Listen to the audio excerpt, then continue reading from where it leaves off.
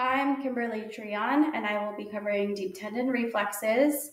Uh, we're going to start by entering our patient's room, close the door, curtain for privacy, perform hand hygiene. Hi, ma'am. I'm Kim. I'll be your nurse today. Can you verify your full name and date of birth? Katriana Watkins, 12 1985. Okay, verify two patient identifiers. Okay, Ms. Watkins, today we are going to be assessing your deep tendon reflexes. Um, this involves just tapping on various tendons and um, assessing the uh, intensity of the reflex reaction. So uh, this is important with uh, our pregnant patients because it could be an indicator of uh, preeclampsia or eclampsia, as well as it could indicate magnesium toxicity um, in our patients receiving magnesium sulfate. Uh, we grade this uh, these reflexes on a zero to four scale. So a zero is an absent reflex, a plus one is a diminished or a hyporeflexive response.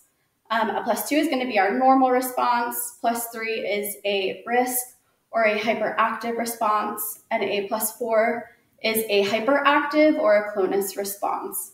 So if we get a, um, a zero or a plus one, a diminished or absent, and our patient is receiving MAG, um, we would be concerned for magnesium toxicity. If our patient is pregnant and we see a plus three or a plus four, uh, we'll be concerned for preeclampsia, um, especially eclampsia if she's got that plus four clonus. So um, we're going to just perform it on one side, but we would perform it bilaterally on our patients. We'll start with our brachial uh, bicep reflex. So we're going to have her relax her arm slightly flexed. We're going to feel for that bicep tendon and we're gonna tap. We're looking for contraction of the bicep and um, slight flexion of the forearm. We'll check her tricep reflex. So we're gonna find her tricep tendon, which is just above her elbow. And we're looking for a contraction of the tricep and a little bit of extension of that forearm. All right.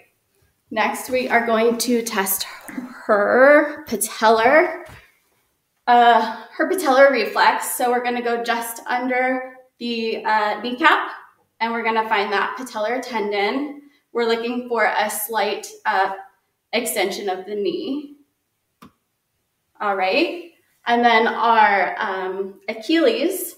So we're going to slightly dorsiflex. We're gonna have her um, maintain a nice relaxed leg and we're gonna find our Achilles tendon it's going to be the back of the ankle right above the heel. And we are going to look for a um, plantar flexion. Perfect. And then last, what we're going to assess for is we're going to assess for ankle clonus. Again, have her relax. We're going to support the leg and we're going to quickly dorsiflex. We're looking for any rhythmic tapping um, or jerking, usually like four to five in a row. Um, that is going to be a positive uh, clonus, and that will tell us that she's at increased risk for seizures um, or eclampsia. A negative reflex would be a nice smooth uh, dorsiflexion and release. Um, finally, we're going to place our patient in a position of comfort. Um, we're going to perform hand hygiene and document our procedure.